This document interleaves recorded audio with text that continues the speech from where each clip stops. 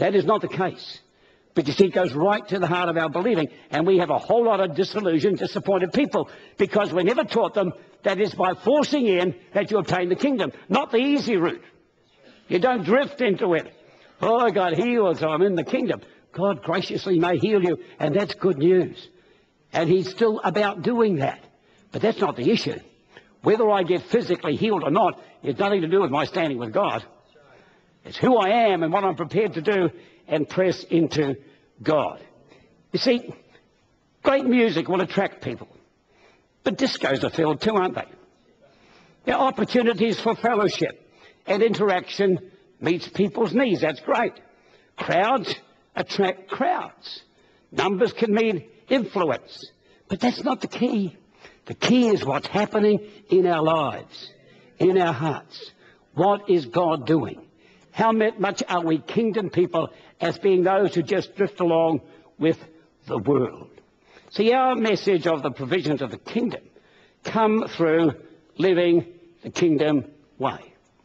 Jesus said, If I, by the Spirit of God, cast out demons, then the kingdom of heaven is come to you.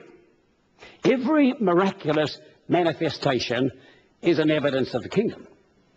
But you know, that can get a bit messy at times when you start dealing with demons. And uh, we want to be fairly respectable. But it goes back to the right heart of the gospel. Now, I'm not looking for demons. But if they come along, I'll deal with it. I'm not hunting for them. But if they manifest themselves, we've got authority in the name of Jesus. In my name, you will cast out demons. And we saw much of that in the early days of our ministry. But you see, the world tolerates traditional religion. They don't mind if you're not disturbing them. But you see, real Christianity does disturb the world. It churns them up a bit.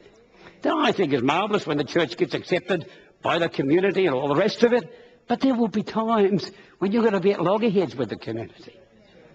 Because there's only one way to God. That's through the Lord Jesus Christ.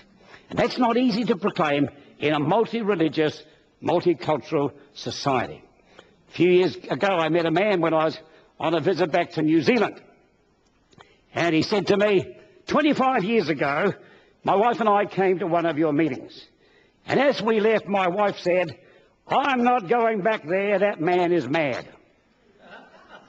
Well, he said, we did come back the next night. And my wife got healed, and I got rapturously filled with the Holy Spirit. Wow. The man's mad. You know, in the early days of our meetings, many people came and said, never come back here again. But they came back the next week. You know, it shocked their system, but something was, was happening. Simple, childlike faith gets you into the kingdom. Praise God. But persistent, aggressive faith enables you to receive the full benefits of the kingdom. How desperate are you? When I was in high school as a teenager, in my third year, I got the responsibility of ringing the bell for the recesses and the changes of, of classes and so forth. They recognised I was a good timekeeper. So I got the job. Now, from time to time, I would go home for lunch. And to do that, I had to get down to where the trams left, and we were travelled by tram, to get out to the suburb where I lived. I rang the bell at 12.30. Down in town, quite some distance away, the high school was up on the hill. I had to go down the hill, round through some city streets, into this area where the trams left from, and catch the tram, which left at 25 minutes to one. Five minutes to go. I'd be up there, pull the rope, boom, boom, boom, and I was off. Down the hill and round the street on there, there's the tram sitting there waiting to start. If I was delayed, occasionally the tram took off before I got there. This was in the days when life was fun. We didn't have safety and health regulations and things like that. And uh, a bit of excitement. And I would take off after the moving tram. It was on its way, rambling along like that. And here am I, I could run fast in those days. And I'm moving along, excited, and I'm getting closer. And the conductor's up there, come on, come on, come on. He wouldn't say, stay out there. And I'd get hold of the rail, I'd be running, and then leap up onto the running board. Good on you, son. Good on you. Nobody made a fuss. Goodness, life was real in those days, wasn't it? Now you can't even clean a window without three weeks of instruction.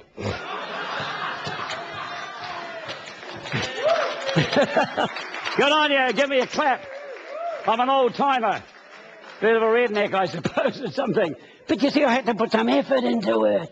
I ran after it. I jumped onto the thing. I was not going to miss out. It was another 10 minutes. I would miss my lunch hour.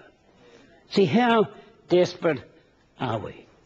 Do we really believe that the kingdom will provide what we need? Seek first the kingdom of God and his righteousness, Jesus said, and all things will be added to you. Uh-huh. Don't know about that. Now, that's not an excuse for doing nothing. We need to have to realize that there's activity by us as well. You see, apart from enjoying the, the wonderful praise and worship and freedom and fellowship of our churches, we need to realize the Bible talks about taking up our cross, dying to self.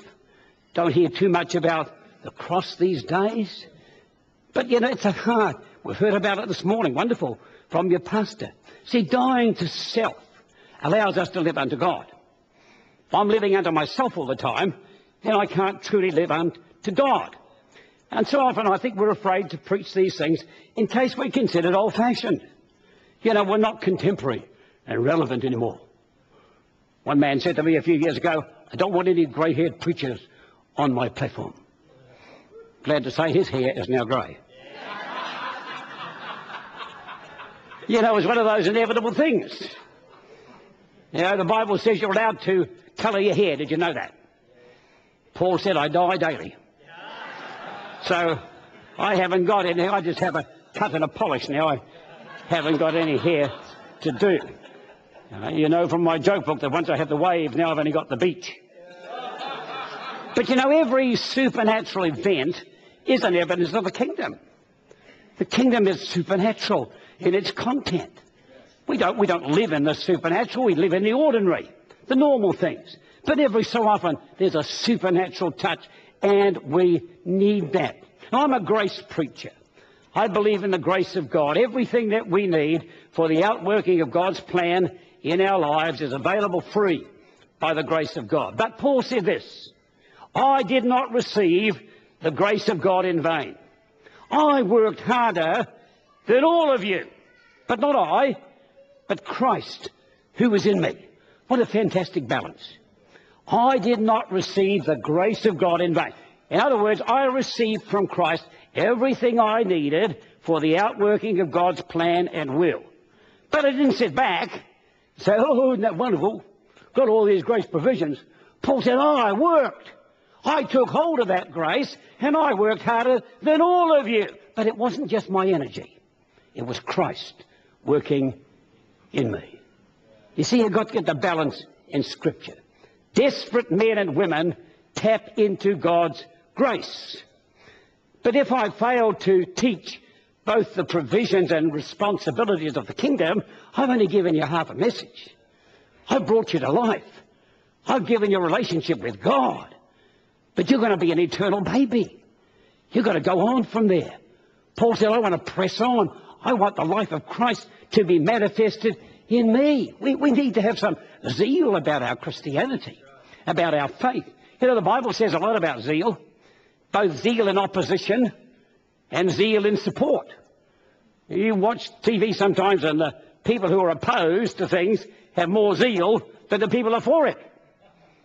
In Acts 22, verses 3 to 5, the Apostle Paul, giving his testimony, said, I was just as zealous for God as any of you are today. Talking to the religious leaders. I persecuted the followers of this way to their death. Paul said, oh, I was zealous, getting rid of this new kind of movement that was encroaching upon our Judaism. But then his zeal turned to support. Man, he had a zeal for the kingdom.